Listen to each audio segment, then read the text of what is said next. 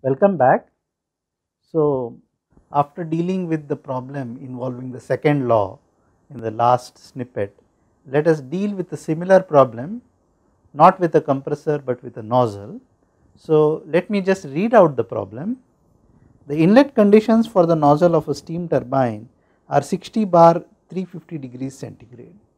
The exit conditions are 10 bar 0.9 dry. What do we have to find out? A. If the steam flow rate is 10,000 kilogram per hour, determine the exit velocity and area. And B. Is the process possible or impossible? Why? What is the limiting exit state and exit velocity?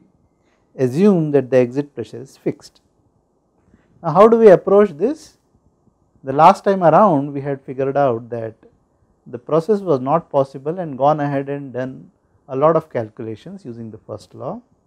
Now, let us first find out since it is easier to find out whether the process is possible, we will go ahead and do that first.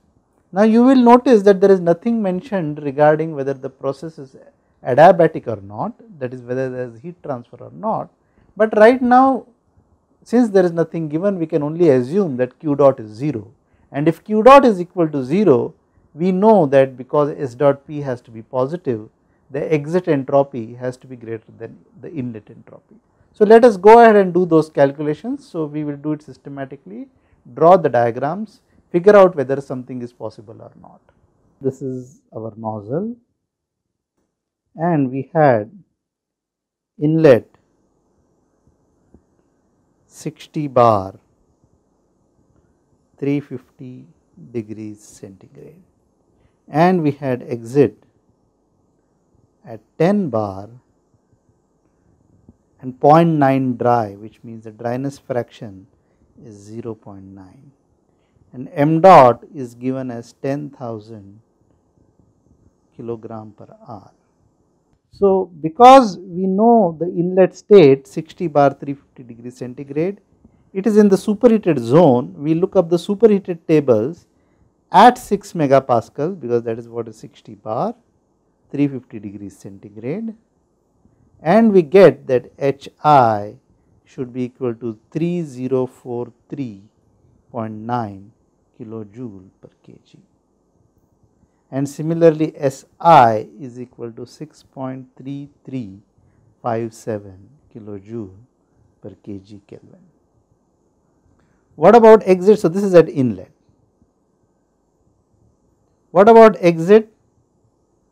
We know that it is 10 bar which means this is 1 megapascal and it is 0.9 dry. So, we can find H easily this would be 0.9 multiplied by H Fg at 1 megapascal plus Hf at 1 megapascal and we would get this as 2575.66 kilojoule per kg. So, this is He we would go ahead and do a similar exercise 0.9 multiplied by Sfg plus Sf and we realize that we get this as 6.1404 kilojoule per kg Kelvin. Now, we draw our HS diagram. This is our inlet to the nozzle. So, uh, let me write this Pi, this is Pe, this is I and we would have expected an ideal process to go like this if it was adiabatic and we are assuming q dot equal to 0 because nothing is mentioned about it. So, in that case we expect that SE should be greater than SI or the process should have been in this fashion. So, this should have been E star and this should have been E. But what do we notice? We notice that SI is 6.3357 and SE is 6.1404 both of these kilojoule per kg Kelvin and SE is actually less than SI which means that we are expecting that the process would go in this fashion and this is E given. So, this is just not possible because we have assumed q dot is equal to 0 which would have meant that SE should have been greater than SI and we find that SE is actually less than SI which means this is not possible. What would have been possible is if exit E was equal to E star or greater than E star. So, let us go ahead with our calculations assuming that we get SE equal to SI that is our ideal exit state. So, in this case go ahead assuming SE equal to Which means E equal to E star. So, if this is so we realize that let me draw this diagram again PI, PE, I, E star. This is what we are getting. So, we know what S is here. So, let us just find out that SE is also equal to 6.3357 kilojoule per kg Kelvin. So, this means we will need to find our dryness fraction here x. So, we will just go ahead and find it we will use 6.3357 and subtract the SF at this point which is 2.1381 we will look at the tables for 1 megapascal and divide by SFG which is 4.4470 and this will turn out to be 0.9439. So, that means that E star would have been a more drier state than what was given in the problem and in fact if the process is actually irreversible it will be even more drier and we should not be surprised if it was completely dry. So, what is H? Now it is very simple we use this x multiply it by HFG which is the same HFG as before and add HF. So, both of these are at 1 megapascal and we get this as 2664.1 kilojoule per kg and this should be a quantity that is greater than the previous quantity. So, this is HE. We also would like to calculate the specific volume that is because uh, we have been asked to find out the velocity and the area. We get VE here which is the specific volume we go ahead and do a similar procedure, I not do it here, it is 0.18352 meter cube per kg. So, now we find out m dot, we convert it into kgs per second instead of the kilogram per r units that have been given. So, I just have to divide by 3600 and I would get 2.7778 kilogram per second.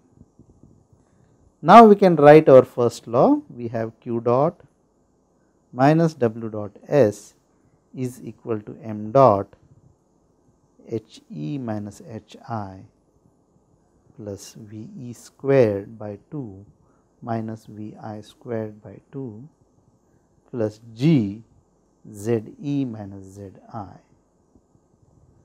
We realize that we have assumed this is adiabatic. So, this is 0 this is a nozzle no work is expected this is 0 and nothing has been mentioned about the heights it is a good assumption to go ahead and assume that this is 0.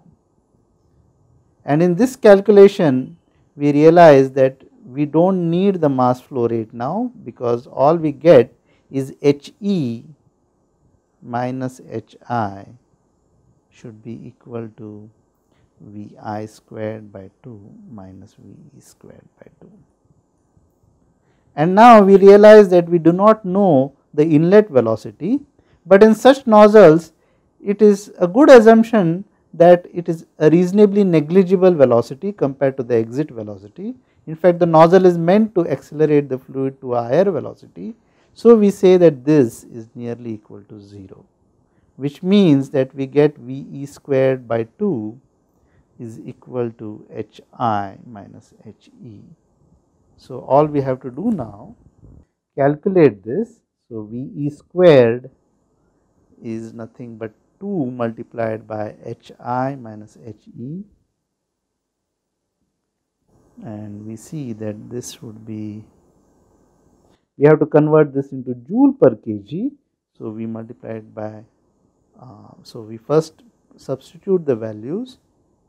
H i was um, 3043.9 and H e now we have calculated as 2664.1 and we multiply this by 1000 so that our units are correct we need it in joule per kg and we get now VE should be equal to 871.55 meters per second.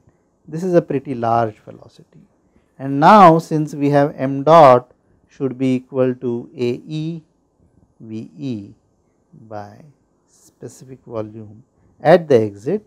We know m dot this is 2.7778 we know this this is 871.55 we know this this is 0.18352 we substitute these values and get the exit area as 5.849 multiplied by 10 to the power minus 4 meter square. So, we have made a few assumptions here, but those are reasonably logical for the nozzle. We have assumed it is adiabatic, there is no change in inlet and exit heights and the inlet velocity is 0. Of course, we first figured out whether the problem as given was possible, we discovered it was not possible, we figured out what was the limiting state and went ahead by solving for that limiting state. So, these are the answers for the limiting state, they are not for the problem as given, we are trying to find out what the velocity at the exit is and the area at the exit is for the limiting state. Thank you.